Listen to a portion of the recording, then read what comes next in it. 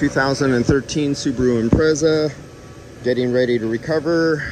Lines are all vacuumed out, already have it on for the suction only. Got to be careful because you are right up to the compressor where there's a reservoir of oil and if you recover too fast, even on the suction line, you'll see oil come across and uh, you can pull some oil out. So you got to throttle it down a little bit.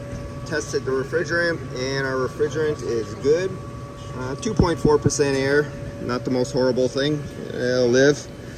And turn that on, turn that on, have that open and close, open, closed. Well, it's not engaged yet. That's not turned in yet. And let's get this out of here. Turn it off, yes.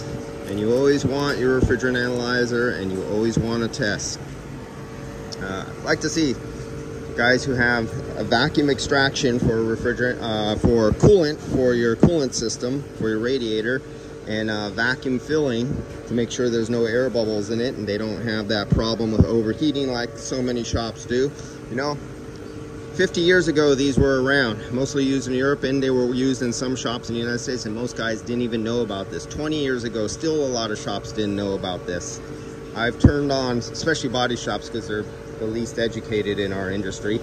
I've turned on so many shops to the vacuum purging and when done correctly, they don't have problems with overheating cars or cars coming back on tow trucks.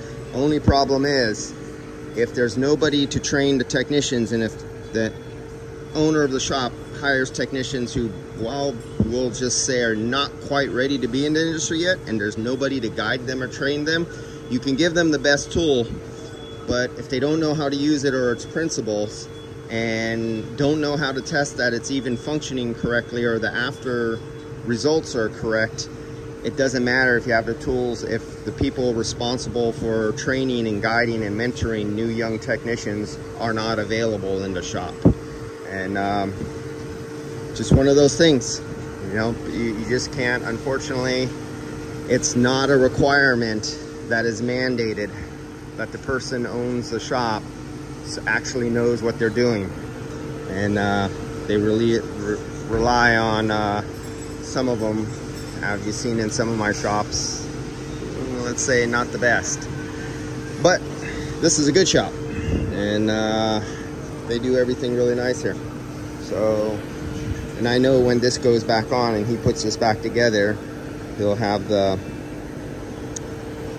foam back on, foam back on here, the little foam pieces here. I see so many shops leave all these foam strips off. And um, in San Francisco Bay Area, the customer will never know it. You go to Death Valley or Arizona or Utah in the summer, you'll definitely know it. All right, guys, I'll see ya. I gotta finish. It's already empty. Yep, we're getting down there. All right, see you guys.